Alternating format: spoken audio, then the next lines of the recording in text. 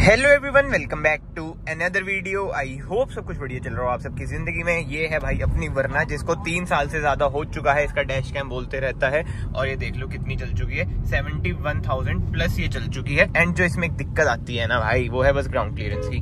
उसके सिवा इसमें कोई दिक्कत है नहीं, वरना मैं उधर से उधरता अब सडैन है तो थोड़ा घूम फिर के जाना पड़ता है। बस यही दिक्कतें हैं सडैन की। बट आज की वीडियो में ना भाई, हम इस चीज़ की बात नहीं करेंगे तो हमें पता ही है भाई सडैन है तो दिक्कत तो आएगी ही आएगी। बट बहुत टाइम से ना एक दो क्वेश्चन आते थे। मतलब कि बहुत ही टाइम से आते थे। मैं आपको बता रहा हूँ, तीन साल हो चुके हैं भाई मुझे इसे रखे हुए कि भाई इसकी बिल्ड क्वालिटी बहुत ही बेकार है। एक तर इतने सारे ये क्रैश टेस्ट वाले हो चुके हैं ना मार्केट में। चलो, अब तो हमारा आ चुका है भारत एनकेप उसमें तो ये टेस्ट नहीं हुई है। बट बाहर कहीं पे इसको फाइव स्टार भी मिल रखे हैं, कहीं पे इसे वन स्टार भी मिल रखे हैं। तो आज बहुत ही बेस्ट एग्ज़ाम्पल है मेरे पास। जैसे कहते हैं बिल्कुल ही प्रैक्टिकल एग्ज़ाम्पल है मेरे पास। हमारे किसी नोन का भाई इसी वरना में आई मीन सेम वरना मतलब कि जो मॉडल होता है एस एक्स था, दो एयरबैग वाली, उसका ना एक्सीडेंट हुआ है, अभी कल परसों की बात है बट जो मेरी है ना, ये है भाई एस एक्स ऑप्शनल इसमें ना छह एयरबैग है। अब ये चीज़ मैं आपको क्यों बता रहा हूँ भाई एयरबैग वाली? क्योंकि ज़्यादातर क्रैश टेस्ट जब ये होते हैं ना एयरबैग्स भी मैटर करते हैं। मतलब कि सबका ना अलग अलग ही रूल्स एंड रेगुलेशन है। जैसे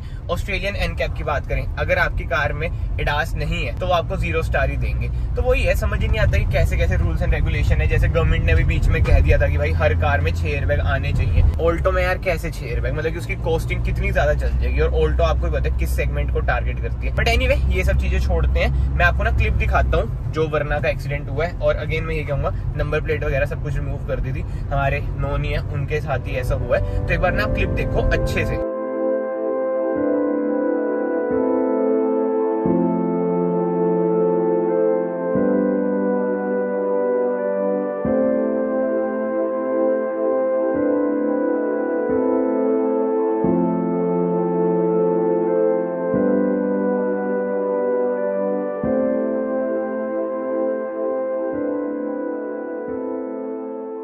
तो हाँ जी, देख ली क्लिप अब मैं आपको बताता हूँ, हुआ तो हुआ क्या बट जो सबसे बढ़िया चीज़ मुझे लगी ना यार हुंडई में ये तो है।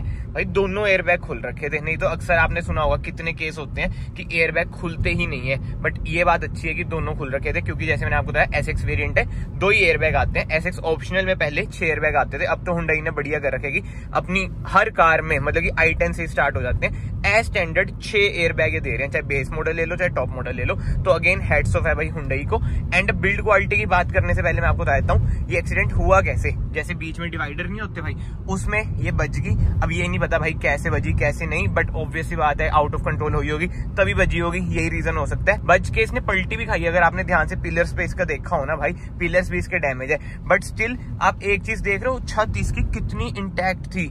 और आगे से ही मतलब कि इसके एक्सल उक्सल टूटते हैं, और स्टिल जो क्रम्पल जोन होता है, एक मैंने ना रील पाई थी न्यू वर्ना की, उसकी हालत आपने देखी होगी। मतलब कि वो भी ना मैं वीडियो भी चलाई देता हूँ स्क्रीन पे।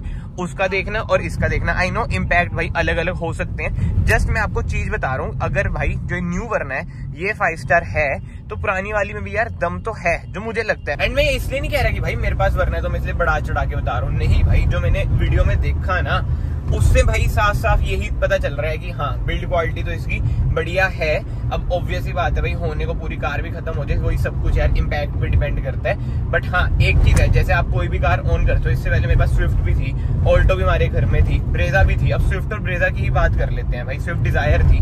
वो ना इतनी हल्की लगती थी, जो सामने नहीं जा रही, ये वाली डिज़ायर थी, ये भाई इतनी हल्की हल्की सी लगती थी, खुद ही पता चल जाता था कि हाँ भाई, कार में थोड़ा दमखम कम है। But as compare to Brezza अब बताओ, है तो मारुति ना? ब्रेजा भाई हमेशा से वो सॉलिड फील देती थी कॉन्फिडेंस वाली फील देती थी, उसके डोर्स वगैरह भी हैवी लगते थे। तो मैं वही बता रहा हूँ, हर कार से ना आपको मतलब समझ आ जाता है। अब मैं जैसे वरना तीन साल से चला रहा हूँ, मुझे समझ आ जाता है कि भाई है तो देखो सॉलिड कार ही। अब मैं ये नहीं कह रहा कि टाटा की तरह बिल्कुल ही टैंक है। नहीं भाई, वो भी मैं एक्सेप्ट करता हूँ। बट हाँ बहुतों के मन में ना डाउट होता है कि भाई इसकी बिल्ड क्वालिटी का क्या सीन है, क्या नहीं। तो यार आपने वो क्लिप में देख ही लिया होगा। एंड सबसे बड़ी बात भाई, जो बंदे हैं, वो भी सेफ़ हैं। कोई मिस हैपनिंग ऐसा नहीं हुई है। और जबकि कार पूरी पलट गई थी, पलट के सीधी करी हुई है। और बूट की बात करें आई मीन डिग्गी की बात करें, वो भी आपने आपने देख ली होगी भाई, बिल्कुल ही खत्म हो रखी थी। जिसे कहते हैं चिथड़े उड़ रखे थे। एंड वैसे इन सब चीज़ों को एक बार साइड भी करते हैं, जैसे बड़े बुज़ुर्ग कहते हैं, अगर रोड पे आप चल रहे हो तो आपके हाथ में ही है सब कुछ। सामने वाले को तो ये समझो कि भाई आती नहीं है चलानी, अपनी सेफ्टी अपने हाथ में है। तो मैं आप सबको भी यही कहूँगा भाई, जो भी मेरा भाई वीडियो देख रहा हो, कि जब भी आप कार चलाएँ सीट बेल्ट पहन के रखें ओवर स्पीडिंग ना करें। एंड आई नो जैसे मैं ब्लॉग कर रहा हूँ, कार चलते हुए, ये बहुत लोग कहेंगे, भाई, ये भी गलत है। बट यार, मैं तभी तो धीरे चलाता हूँ। आपने मेरी कोई भी वीडियो चेक कर लेना, जब भी मैं ब्लॉग करता हूँ ना, हमेशा कार को स्पीड लिमिट में ही चलाता हूँ मतलब साठ, सत्तर, अस्सी, बस ऐसे।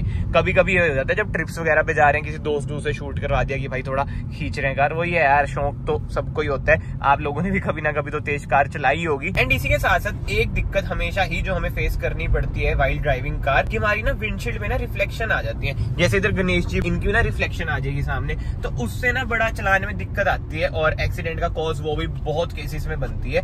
तो जो मैंने चश्मे पहन रखे हैं ना भाई, ये मुझे भेजे मैकवी ने जिनके चश्मे यार बहुत ही प्रीमियम क्वालिटी के हैं। चश्मे में देसी भाषा में बोल रहा हूँ भाई, आप सनग्लासेस भी इन्हें कह सकते हैं, वैसे सनग्लासेस ही हैं। और जो इनमें खास बात है, ये है पोलराइज सन सनग्लासेस एंड ये कोई पेड प्रमोशन वगैरह नहीं है डिस्क्रिप्शन में ना आपको इनकी साइट का लिंक मिल रहा होगा, और ये अमेजोन पे भी अवेलेबल है। तो अगर आप भाई मेरी तरह रोज 100-150 किलोमीटर कार में चलते हैं, और ये रिफ्लेक्शन वगैरह से परेशान होते हैं तो ये सनग्लासेस ज़रूर ट्राई करना। एंड जो इनकी क्वालिटी है बहुत ही बढ़िया है। और एक तो देखो, पहने में भी जचते हैं। वो अलग बात है, अगर हमारी शक्ल बढ़िया नहीं कुछ चीज़ हमें नहीं जचती बट हाँ ये शक्ल को भी भाई बढ़िया बना ही देते हैं। मेरा एग्ज़ाम्पल ही देख लो आप। एंड इनको पहन के ना भाई साफ़ साफ़ डिफरेंस पता चलता है कि हाँ कोई रिफ्लेक्शन वगैरह नहीं आ रही है। क्लियर व्यू हमें मिल रहा है। विंडशील्ड अगर आप साफ़ कर दोगे तो और ज़्यादा क्लियर व्यू मिल जाएगा। जैसे मैं इन्हें उतारता हूँ ना, ज़मीन आसमान का फ़र्क पता चलता ही है। तो इस डिस्क्रिप्शन में लिंक आ रहा होगा मैकवी का तो ज़रूर चेक करना। चलो जी, पहुँच चुके अपने ठिकाने पे, यानी कि डिटेलिंग जिला। एंड एक दो दिन से ना यार, काम भी ना बहुत ज़्यादा मंदा है और जो मेरे दिमाग में थॉट्स आ रहे हैं, उसमें लगने हैं पैसे। मेरे मन में है कि एक प्रोजेक्ट कार ले लेता हूँ मैं, ताकि थोड़ा बहुत यार कंटेंट भी निकला करे, क्योंकि जो न्यू कार का कंटेंट वगैरह होता है ना भाई, उसके लिए जाना पड़ता है चंडीगढ़। अब इधर रह के वो मैनेज बहुत ही मुश्किल है यार एक्स यू थ्री एक्सो की वीडियो देख लो, अभी तक चैनल पे नहीं आई, ठीक है? बहुत ही दिक्कतें हो रही हैं यार रेवेन्यू में तो डाउन जा ही रहे चैनल व्यूज़ में भी डाउन जा रहा है वो ज़्यादा व्यूज़ में डाउन जाएगा रेवेन्यू में भी जाएगा तो कुछ ना कुछ तो करना पड़ेगा। अब मैं सोच रहा हूँ कि पुरानी इंडेवर मतलब कि कुछ ऐसा कर लूँ फॉर्चुनर तो नहीं, पुरानी बट हाँ इंडेवर क्योंकि इंडेवर में ना लोगों ने, जो पुराने वाली आती थी भाई थ्री पॉइंट ज़ीरो बिल्कुल ही झोटा जो आती थी, क्या लगती है यार, वो बड़ी बहुत लगती है, जैसे सामने फॉर्चुनर खड़ी है ना, इससे भी बड़ी लगती है। मैं सोच रहा हूँ उसे लेके कुछ प्रोजेक्ट वगैरह करें कुछ अलग करें, जैसे लोहे का बम्पर डाल दिया, उसमें कुछ ऊट पटांग चीज़ें करें। देखते हैं यार, अभी एक बंदे से बात चल रही है, आज ही मैं जाऊँगा बट उसकी वीडियो आप कल देखोगे शायद, जो कार है, क्या है, क्या नहीं। अभी बस बंदे ने कहा कि एक कार खड़ी है बट मुझे मेन है यार कि मॉडल बढ़िया मिल जाए मतलब कि 2010 के बाद का तो मिले 2008 यार, वैसे ही पासिंग पूसिंग का बड़े कलेश होते हैं। तो वो सब चीज़ें हैं, बाकी तो लेट सी क्या बनता है, क्या नहीं बनता।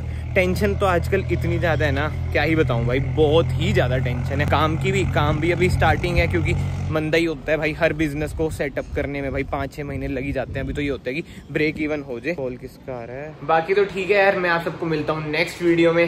Till then bye take care and video को ऐसे लाइक कर दिया करो चैनल को ऐसे सब्सक्राइब भी कर दिया करो।